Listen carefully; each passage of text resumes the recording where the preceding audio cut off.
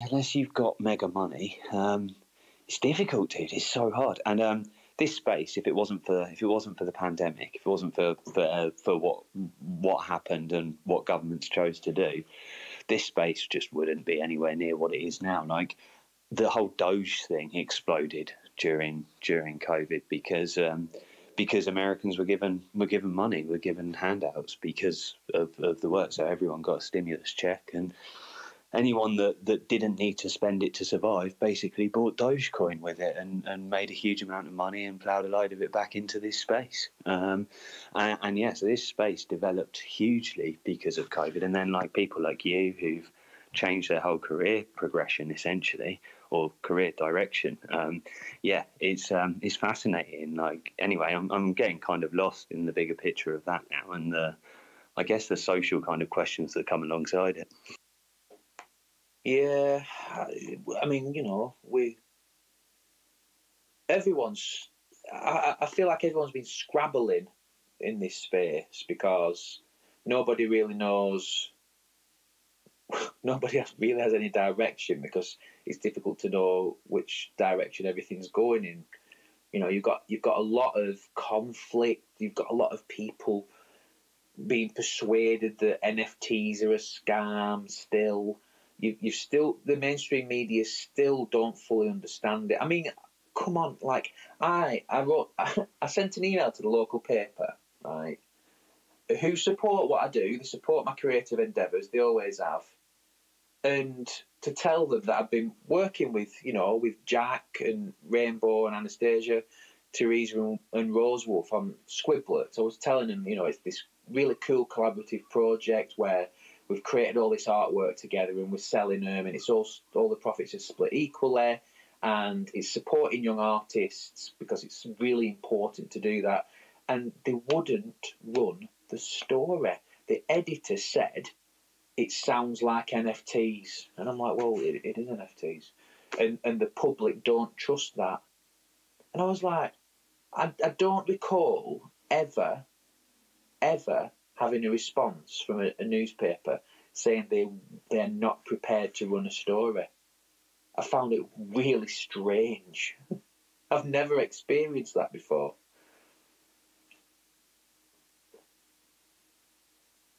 Really odd. I, mean the the press coverage. I, I, mean, I'll take you back to November and sort of sales in this market as well, and, and this is why so it was only the big. So the NFT volume doubled from October to November in terms of NFT sales to you know from about 480 million US dollars in the month to I think it's about 960, just under or just over. Um, so a billion dollars, which is a huge wow. amount of money. Um, but it's a negligible amount of money in terms of the total amount of money in crypto, which is about 1.5 trillion dollars at the time. Wow. Um, the the point of those NFT sales that have gone up in price is the average transaction price doubled, the number of transactions didn't double. So the average transaction price went from about two hundred dollars to about four hundred dollars, and it was just the apes, the punks, the pudgy penguins, um, you know, the Azukis, um, the big branded collections and big named artists, really that were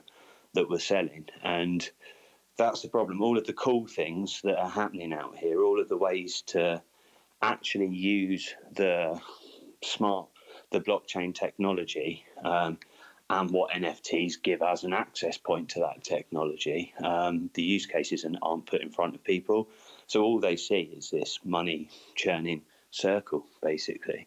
Um, and, it, and it is what we are. We know this. 90% of this market is that. It's, we're just part of the other 10% trying to make it something more. And, and I fundamentally believe that will happen. I just just don't think it happens anytime soon. No. Well, you know, what's the rush, really? I think people panic, don't they? They, they? they see an opportunity to make loads of money, and then in their mind they go, oh, I haven't got enough money. I'll do this and do that to make some more money. And a lot of people succeed in that, but then what? then what? People invest it all back into other into other stuff. Most people who are rich in inverted commas or wealthy through crypto just hold it in crypto, don't they? That's most people. They're not converting it into like real world dollars, really. They're just holding it, and then that's that's the risk. That's the risk really. Well, the, the, the sensible people are converting enough of it into real world money so that they've got enough assets to cover their real world expenditure, um, or they've got enough direct income, um, you know, from from businesses that work in, in Web two or whatever. Um, and then, yeah, they, they're, they're keeping the rest essentially in Bitcoin and Ethereum at the moment. They're not even really playing with any of the other tokens unless they fundamentally believe in the in the teams, the network, the builds. Yeah, yeah. See, it's something I've not fully been like totally part of crypto. You know, I know, I know. You know, in regards to investing and, and watching it and stuff, I've got a friend who absolutely spent all his time doing it. Whereas me, I'm just like, okay, you know, for me, it's like almost like selling product because I've because I've entered the space as a children's brand. I want to provide NFTs and things like that, that that kind of do something usually. Like you get something with it, or it's you're able to use it in the future, whatever that is. No idea, but no one knows either. And and I, and I want to make sure that those NFTs exist at least, so they can be used for something in the future. Because I know I can see where it's all heading.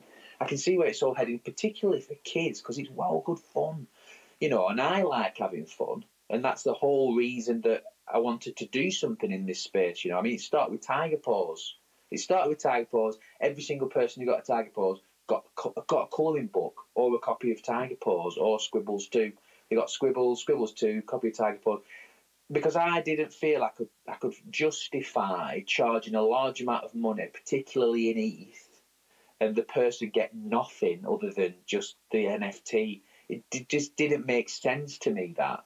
So I'm like, what kind of how you know how would could you say okay? So you bought an NFT, you also get merchandise, so you also get a colouring book, you also get a reading book, you also get you know a writing journal or whatever it is. I mean, I didn't have any T-shirts to give out at the time, but um, that will come like stickers and stuff like that. The Mumsles are giving stickers away. Uh, I think that's great. They've got the merch stuff, but pretty sure pretty sure they're at a loss there. Um, I don't I don't I'm not sure that, that, that that's coming out of their own pocket. I think, which is fine. You know, if, if it's a business investment into the people that are buying your product, fair enough. But it's not the best business model. It's not very sustainable. So I wanted to think of you know a more sustainable way and. Oh. For me, it's yeah, you buy an expensive NFT, you get something physical with it. That's okay because you've kind of bought something, and I had to send them out direct as well. You've kind of got something to hold on to there. And if you do want to sell the NFT in future, because the Squibbles is like a multi-billion pound children's network or fantastically successful TV show, which it will be, then your NFT goes up in value. But there's no, you can't predict the time on that, can you? No, and and you shouldn't be talking about a product or a service um, that you're offering now going up in value over time like that because then it's not necessarily a product or a service. It's it's an investment, and and they are different things. And I, I you know, I, I, don't think we've quite worked that out as a space yet. Like, what is a product or a service, and and what is what are we encouraging as a potential future investment? Um, it's it's funny. I, tweeted this morning. I, am I'm, I'm going slightly off topic, Jay. I could talk about the stuff you're chatting about all day long, and often do. Um, but like one of my big issues um, is is the things that we've got to do once we've already bought something. Like, uh, why do I have to claim stuff? Like you sold me something, I bought it. I've now got to jump through hoops. It doesn't make sense. Um, and like the example I used to someone who was like, I'm a little bit confused is like if can you imagine paying for a year's subscription to Netflix and then having to go somewhere to claim it so that you got access to it every month? Like, is that is that a thing that would even happen? Like, you know, like why have I got to unstake? You want me to stake your NFTs for whatever yeah, reason, and you reward me for that, but I don't get the airdrop if they're staked. Like, what are you doing? Yeah, I'm, I'm going to release a second collection, and all of the holders from our first collection are entitled to some, but you've got to come and claim it on a form. Why? Why? They they crowdfunded you. Why aren't you giving them the benefits? It's all on chain. All the data's there. Why are you making them claim that? It's and we need to get past this. It's frustrating as hell for me. I think it's something very different that like the pro- the problem with that, and especially with the terminology that's used and the language that's used and everything, is it it, it creates a gated, closed off community, doesn't it? You know, it, it stops people from coming in and going, oh, this looks exciting and really simple to do. It's like, well, it's not simple at all, is it? It's really overly complicated. But it could be simple. That's the thing, because all of the information and data's there. Like it's all on chain. Yeah, it, it could be absolutely simple, yeah, but people just don't like simplicity for some reason. People like to make things really complicated. Well, if you if, if you if you ask me, it's profiteering. Like that's what it comes down to, because the ones that aren't claimed can then be sold. Yeah, this is true. But I mean, like when I said things go up in value, I, di- I didn't mean because that's what the intention is. I just meant from a collectible point of view. Uh, Oh, 100%. Look yeah. at some of the stuff from the mid 90s that you could buy just as a toy. Look at Beanie Babies. Yeah. Like, Beanie Babies were never an investment. They were never sold as an investment. No. No. But, you know, time. Uh, we've never experienced having digital collectibles before. We've, we've experienced physical collectibles, but, like in theory, physical collectibles can perish unless they're looked after. Um, digital collectibles don't, do they? So, unless the blockchain they're on s- somehow disappears, I don't know how that would happen. Is that possible? Only only if electricity disappears. yeah, so we have a solar flare or whatever, and you know everything goes down, then then we've got a problem. But Um, no, I mean blockchains networks networks can can stop running. So like Ethereum and things like Polygon, they could they could get themselves to a position where there was no incentive for people to validate the transactions on the nodes, um, and that's what the gas fee is, right? That's what we pay on on all networks. It's it's to to cover that incentive to get people to process the transactions, basically. So yeah, um, yeah, that's that's the only real way it could happen is if the if there was no reward structure or people didn't want to validate transactions, then the decentralized nature of the network fails. yeah. Well, thank you very much. This has been really, really insightful and a really unexpected, uh, unexpected conversation, and I love that. I love spontaneity. You know me, Dave. If it's spontaneous, it's the best because it's just exciting, and, and we talk about things that were un- unexpected, um, and I appreciate that. So thank you, Dave. Thank you, Jack, as well for popping in and helping with this. I've recorded this. I'll probably post it. It's about 13 minutes long though, so I don't know, but we'll see. And um, I've got spaces tomorrow. So I've got pro- we've got a proper spaces tomorrow that's going to be streaming. We're going to have art prompts. There's going to be videos and all sorts. So if you've got any suggestions for things you'd like to see, or if you've got any artwork that you'd like me to put in the stream, please send it. Um, I've got a few ideas on on how to artwork on in real time. So my idea is to use um, Framer because on Framer you can create rolling slideshows, yeah.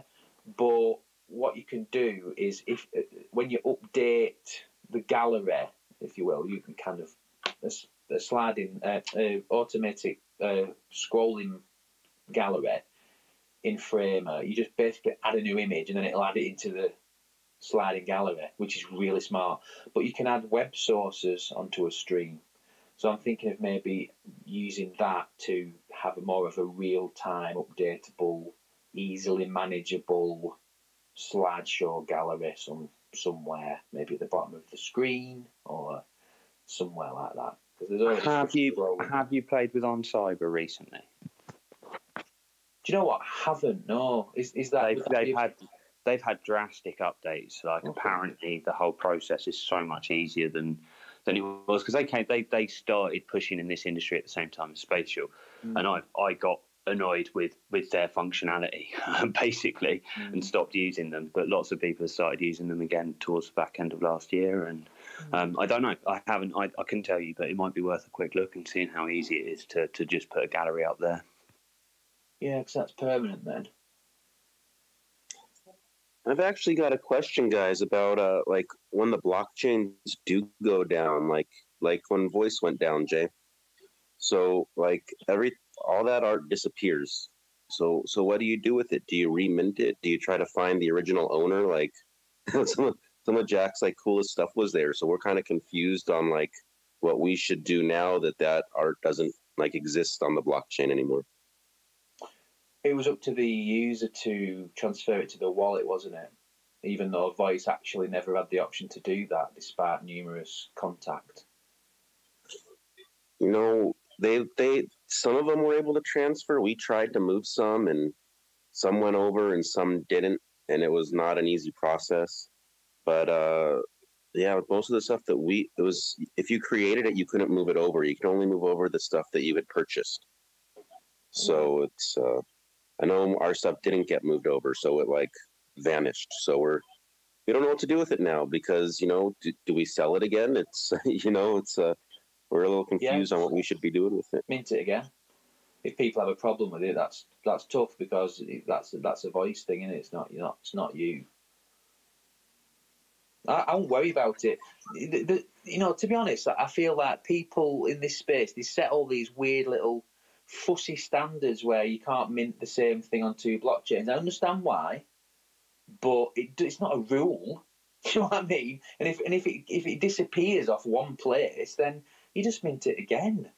You know, and and it's not your fault. It's whoever is hosting the you know the file. It's, it's that's their fault, not your fault. You should, no one should ever feel bad for a big company going under. You know, you shouldn't. You, you're the artist at the end of the day. You're providing the artwork for the people, and if and if the blockchain that they're on goes down, you just mint it somewhere else. It's just just the way it goes. It was it was more for the collector as opposed to anything else. Like because they had paid money and bought it, but I guess they could have also moved it over at the same time if they wanted to keep it. Absolutely, So that's it's that's that's that's where I was. You could also you could also reach out to them if you know them and ask them if they want it on Polygon or Tez. You know, something where it wouldn't cost you very much to do it. Yeah, that way you could just airdrop them a new piece or something as well. And then they've still got it, but they didn't have to pay anything else. But if it's a collector you don't know, then it's their responsibility ultimately. They could get in touch with you. You know, they should get in touch with the platform that went down and claim compensation. But whatever happens, it's not it's not on you. The onus is not on you. Well, that makes me feel a little better. We're just it's like it's weird to know like situations like that how to handle it. So that's uh, that's really helpful.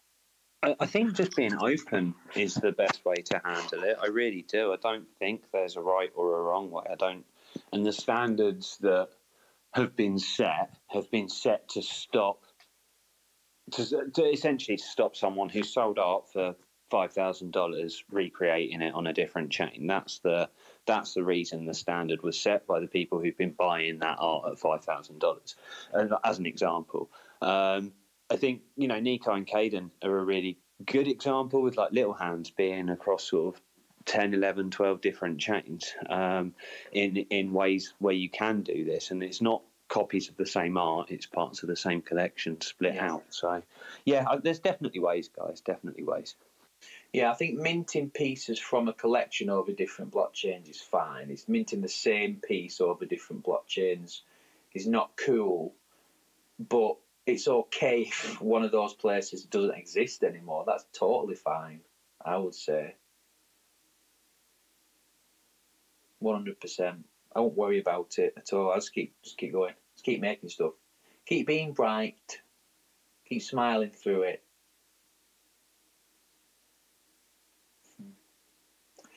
Right, guys. Um, I'm gonna I'm gonna go now. So take care. Have a lovely afternoon. Have a have a lovely rest of day, and maybe see you tomorrow for Spaces. So it's 12 p.m.